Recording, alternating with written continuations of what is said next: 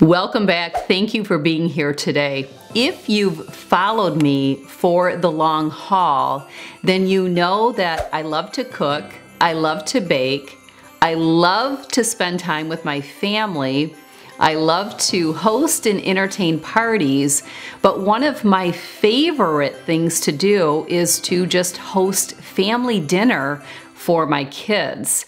And if you follow me on Instagram stories, I share all the time our Friday family dinners. I watch my one and a half year old granddaughter Junebug on Fridays, and a lot of times I will prepare a nice family dinner. And then when Kirsten and Tim come to pick up June, and if they have Kaylee, they bring her. Um, and McKenna and Bobby, when they get out of work, they'll come over. Carly will be here. And if Chloe is not working, she will be here and we'll have family dinner. A couple of weeks ago, I had shared on Instagram stories um, how I set up a family dinner and we were having a taco bar that night. So we had tacos.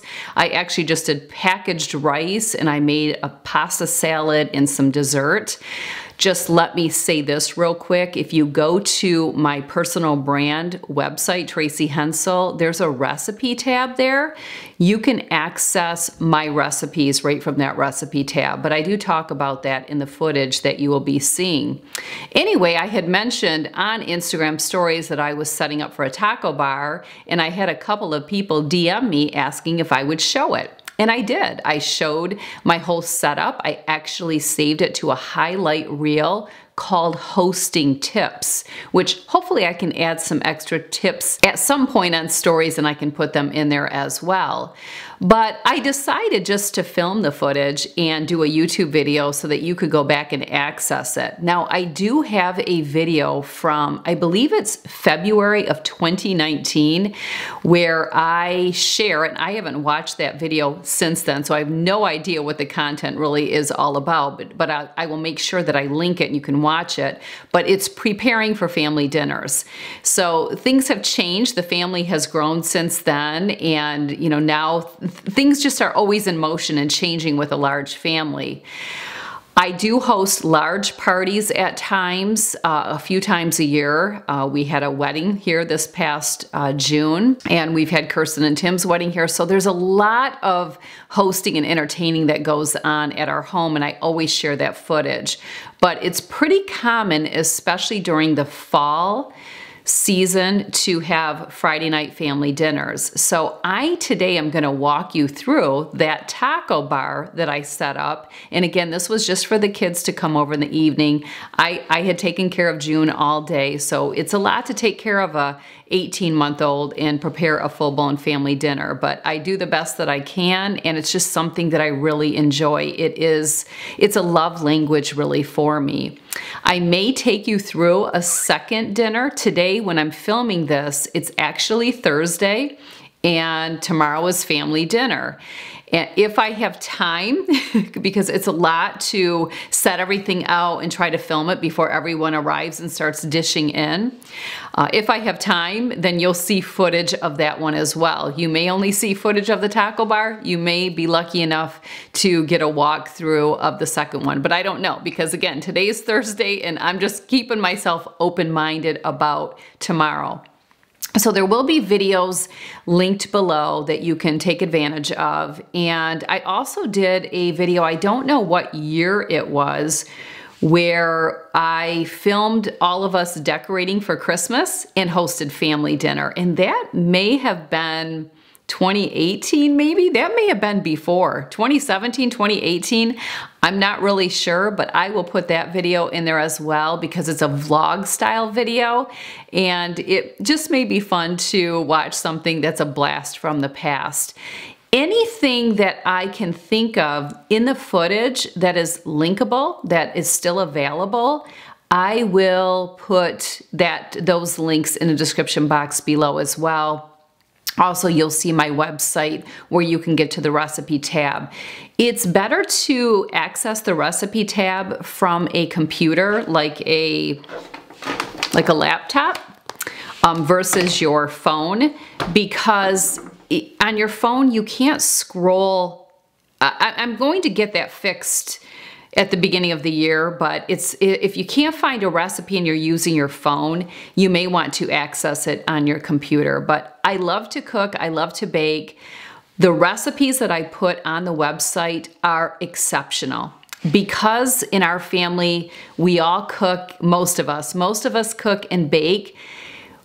If it if if it's not superb and it and, and just exceptional, it doesn't make the cut. We never make it again. That is just how it works. It's just not worth it. So I guarantee you that the recipes that I have are fantastic. Now, if you're not someone who cooks or bakes, you may not know little secrets to how to do it. So you may mess up recipes. And often if something doesn't turn out, that's gonna be the case. But it's a perfect time to get started for me, cooking and baking is is kind of how I um, recharge. I, I, recharge. It's it's not work for me. It can be work, but I, I, I recharge by doing that. I'm actually gonna bake cookies later on today if I get time. I have everything setting out so that we can have them for family dinner tomorrow. So let's do a walkthrough of at least the taco bar, maybe a bonus of a second meal. We'll see. Um, if not, I'll at least try to get it on stories and try to keep it in that hosting tips.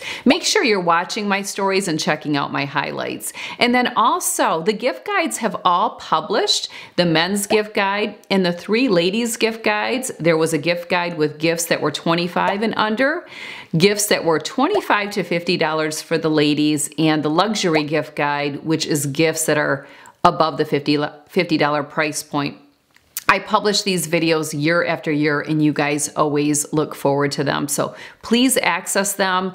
Please access all of my old Christmas gift guides because there's just, I mean, really, honestly, everything that I share are gifts that I just would go back to. Some of my favorites. This year, I tried to dial in on a couple of different things that I don't always talk about, and that's why I want to encourage you to check out the past gift guides as well. But be watching me on stories. There's more holiday content to come and um, going to be sharing toddler gift recommendations, maybe some gift recommendations for teens. Also, if you're not signed up for my weekly newsletter, that comes out every Friday and Sunday Friday's newsletters from now through Christmas will be another gift guide. So be sure to sign up for the newsletter. The link will be in the description box below. And then on Sundays, I just share purchases that I've made throughout the week, tidbits about what we are doing as a family. I may share what recipes I made for Friday family dinner. Um, just a lot of nuggets like that. Things coming up, different programs that I'm hosting like the three week intense, which I'll be doing segment four at the beginning of the year. Segment three is currently going on. So a lot of things going on. So make sure you're watching and following me on all my different platforms. But all right, let's take a look at the taco bar night that we had a couple of weeks ago. All right, let's do the walkthrough. One of the very first things I want to share is I always set out hand sanitizer. Obviously people can wash their hands, but post-COVID, I just always have hand sanitizer out. I also want to share that I am quite picky about plates if I am going to use disposable ones. Sometimes I use disposable, a lot of times I don't, it just depends. Tonight we are. And I will share with you that I don't like these type of disposable plates that are like that cardboard. These particular ones are by Chinet. I like disposable plates that have a silky finish to them, which these ones do. Um, so I'm, they were on sale, so I, those are the ones I picked up. As long as they are a dinner size and they are the silky finish. Actually for tacos, I would recommend more of an oval shape plate if you can find them. And again, a lot of times we use regular plates. We have our dinner napkins. Sometimes we use disposable uh, plastic utensils. Today we're using silverware and I put them in this little caddy. And then this is a tortilla warmer. It is not designed to, I don't believe it can go in the microwave. Maybe, I've never put it in there. What I do is I warm the shells up in the microwave. So I will take the shells out of this package, put them on a plate, I cover it with a damp paper towel, I heat them up, and then I put them in the tortilla warmer and then they will stay warm. And we have a backup because one package won't be enough for our family. And then over here we have a mini crock pot with the taco meat in it. I made three pounds of taco meat. You wanna make sure you have enough. And then I always have a little spoon rest sitting out. Here is lettuce. I'm not a fan of the bagged shredded lettuce. I just feel like it has a funny taste to it. So I just buy a head lettuce and I shred the head lettuce myself. Oh, honey, you're such a good girl. Thank you. Paul is joining us. Um, it's very important. This is something that I do see people kind of skip and it's a great tip. I'll give you this angle. You always want to leave space for people to put their plate down. So if we were to take a plate, we will grab our shell and then we will put our plate here so that we can start assembling our tacos. And then over here, we have the shredded cheese. Another thing about the cheese, let me share, I don't like bagged cheese. This is shredded cheese. I do sharp cheddar and it's all shredded. So that's another thing with our family for tacos. We are not a fan of the bagged. We have some chopped onion, green pepper, tomato, and cilantro is a must. I mean a must in our family. We all love it. I know people either love it or hate it. We love it and we cannot be without it. A lot of times I will dish out the sour cream into a white dish like this. Uh, it depends on who I'm hosting for. When it's just the kids, I don't. But if I was hosting for a group of people, I don't I generally don't put anything out in its packaging, but we have sour cream, we have the taco sauce, and then here's a little tip.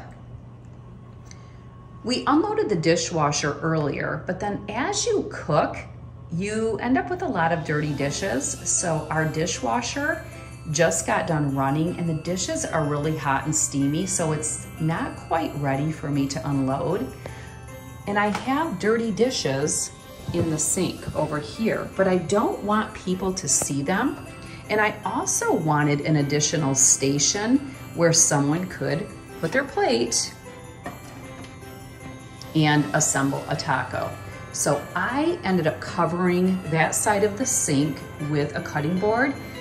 But if you didn't need that, you can take a towel. I actually have a towel here just to kind of shimmy this up you can take a towel and just lay it over your dirty dishes. If you're doing a buffet on your kitchen counters like I am tonight, then you don't want people to see your dirty dishes. So even when the kids are coming over, I do that. It's not necessary, but it is just something that I do. And then we're gonna come around over here. This is just the Knorr's Mexican rice. It comes in a packet. I made two packets. It's a stovetop packet, but then I put it in this casserole, small casserole dish, and I've actually been keeping it warm in the oven. So I will put it back in there to make sure it's nice and warm for when guests arrive, when the kids arrive. Tonight we just have Kirsten, Tim, Kaylee, Kaylee's friend, and then of course June, she's sleeping right now. And because we watched her today, it's Friday. You know I have her on Fridays. And then McKenna, Bobby, Carly, Chloe, and Paul and I. Here is my supreme pasta salad. This is on the recipe tab. The only thing I didn't put in it today is the is carrots. Typically I have that in there, but this is a family favorite. I actually have a container in the refrigerator to replenish if we need to add more. And everything is sitting out. And again, very important to have space to put your plate so that you can dish out whatever you need. And then over here is dessert. I made pumpkin chocolate, or no, pumpkin cheesecake brownies. they weren't a home run, so you're not going to see, I mean, they're good, don't get me wrong, but things need to be epic for me to add them to the recipe tab because I do so much cooking and baking that I am not going to settle for something that is just so-so. I'm also not a huge brownie lover. I much prefer cake with buttercream frosting or cookies. So that could have something to do with it. I will see what the family says about these brownies, but we have a great pumpkin chocolate chip cookie recipe that is amazing that I highly, highly recommend. That would be the go-to or the pumpkin gooey butter cake that is on the website on the recipe tab would be the other thing that I would recommend. So that is where we are at. Um, of course, I have some cleaning stuff to clean bug up. And this is just a typical Friday family dinner, nothing fancy, just the kids. I wouldn't call this hosting for a party. Things would be a little different if we were hosting for a large gathering or for other people besides our kids. I would maybe set up a buffet table. Things are gonna be different, but this is just a great example of a Friday night dinner with the kids, which we do all the time because I watch Bug on Fridays and a lot of times everyone loves to come here for dinner. So that's that's where we're at. And then let me also add in, like I said, I can always add more of the pasta salad. Um, I also have more brownies that I can replenish and put out on the platter. All right, I already have company here, so we're gonna make this really quick. I don't need to go over some of the details. Today we have real plates. In the crock pot is mashed potatoes, but they are a deluxe mashed potato. They have quite a bit of seasonings and it's a crock pot recipe. I will be sure to link this. And it's a mashed potato bar. So we have butter, sour cream, green onion bacon, shredded cheddar cheese, ranch dressing. Over here we have some baked chicken thighs. I will have recipes on the recipe tab. Also, anything that I can link will be linked. This salad is already on the recipe tab. That good salad, one of my favorites. That pan is hot still. And bless you, we have some biscuits to serve with butter, butter and honey. Pick your poison. And I hear little June bug. She's playing with Poppy. She's playing with Poppy. I'm gonna wash this pan real quick. Friday family dinner. And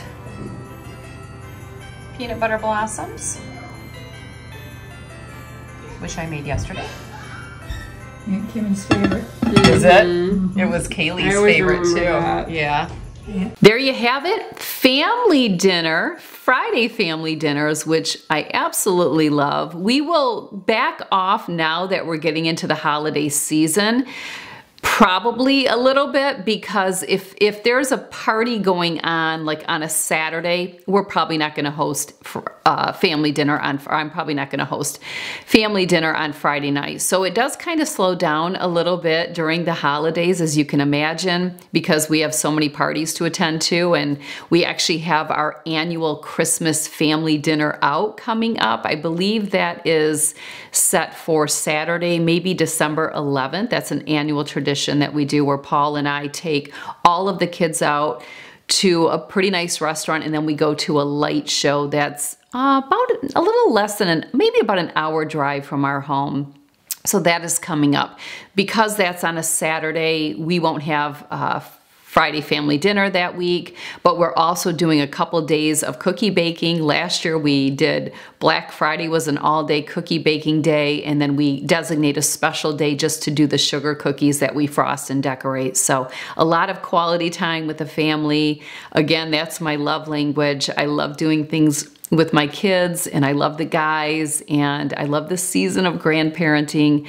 It's just really been the best. So I hope I can inspire you today to host a few family dinners and step out there if you're not a cook. You can always do takeout. Um, it doesn't have to be all sorts of frills. Again, you can use the plastic plates. You can use the throwaway, throwaway and disposable stuff if you need to. But I hope I can encourage you to tap into that family time, get together with your kids, and create the create memories because that's where it's at. So thanks for being here and I'll see you soon right here on YouTube and on Instagram stories. Take care.